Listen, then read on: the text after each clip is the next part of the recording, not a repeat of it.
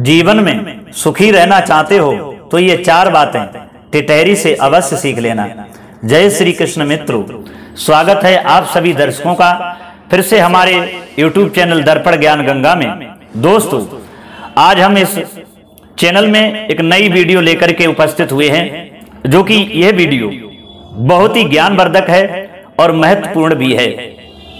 तो वीडियो शुरू करने से पहले अपने सभी दर्शकों से अनुरोध करूँगा अगर हमारे इस चैनल पर नए आए हैं तो हमारे इस चैनल को सब्सक्राइब अवश्य कर लेना, बेल आइकन घंटी को भी अवश्य दबा देना, ताकि हमारी हर वीडियो का नोटिफिकेशन सबसे पहले उन तक पहुँचता रहे।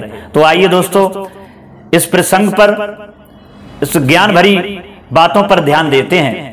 दोस्तों, अगर जीवन में आप सुखी रहना चाहते हो और पूरी ज़िंदगी जीना चाहते हो मृत्यु से बचना चाहते हो। दोस्तों, ये सुनकर के आप बड़ा असमंजस में पड़ गए होंगे, क्योंकि मृत्यु तो हर इंसान की निश्चित है। मैं भी मानता हूँ, क्योंकि इस दुनिया में जो भी आया है, एक दिन वो जाएगा ज़रूर। लेकिन कुछ प्राणी ऐसे होते हैं, जो वो पूरी ज़िंदगी नहीं जी पाते और अधबर में ही इस दुनिया से चले जाते हैं। वो कैसे? जैसे किसी के द्वारा उनकी हत्या होना या फांसी खा के मर जाना, या जहर खा के मर जाना, या किसी बाँध से टकराना, तब मृत्यु को प्राप्त होना तो ऐसे प्राणी अधोगति में भटकते हैं और अपनी आधी उम्र में ही दुनिया छोड़ देते हैं।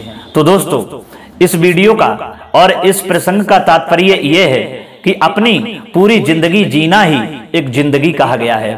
तो दोस्तों, वो पूरी ज़िंदगी अगर जीना चाहते हैं और जीवन में सुखी रहना चाहते हैं तो ये चार बातें हैं। कौन कौन सी हैं? तो आइए दोस्तों मैं बताता हूँ।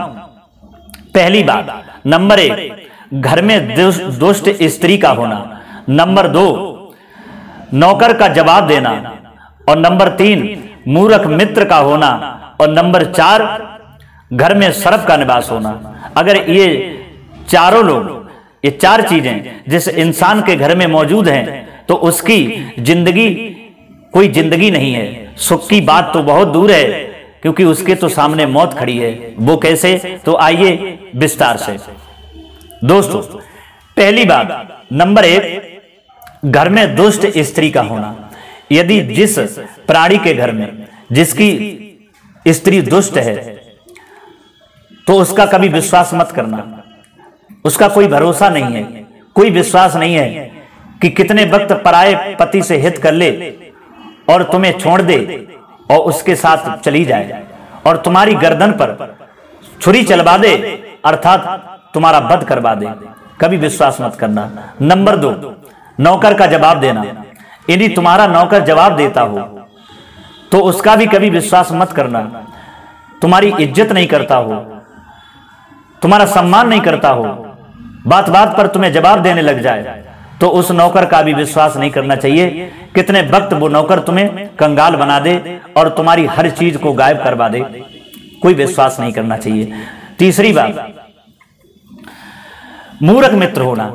यदि तुम्हारा मित्र मूर्ख है तो उसका भी विश्वास करना गलत है। क्योंकि अगर मूर्ख मित्र तुम्हारे साथ में है तो पता नहीं कितने वक्त दूसरे इंसान से झगड़ा करवा दे और तुम्हारी मार का कारण बन जाए और तुम्हारी पिटाई शुरू करवा दे, यानी तुम्हारे चाँद पर जूता बजवाए तो उसका भी कभी विश्वास मत करना। और चौथी बात है घर में सर्प का निवास होना। यदि आपके घर में सर्प निवास करता है तो उसका भी, उस मनुष्य का भी कोई भरोसा नहीं है। क्योंकि अगर घर में सर्प निवास करता है तो पता नहीं कितने वक्त वो तुम्हें डस खाए और तुम इस दुनिया से अलविदा कह के चले जाओ, अर्थात तुम्हारी मृत्यु हो जाए। तो वो टिटहरी कहती है कि ये चार चीज़ें, ये चार लोग जिसके घर में मौजूद हैं तो सुखी तो बात बहुत दूर है, उसकी मृत्यु बहुत नज़दीक खड़ी है।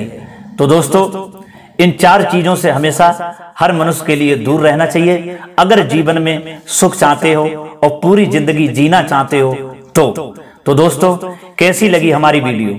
अगर ये प्रसंग और ज्ञान भरी बात है, आपको पसंद आई है तो हमारे इस चैनल को लाइक करना, वीडियो को भी लाइक करना और दूसरों को भी शेयर करना, ताकि ये ज्ञानवर्धक बातें दूसरों के पास भी पहुँच सकें और उनके जीवन में भी सुधार हो सके।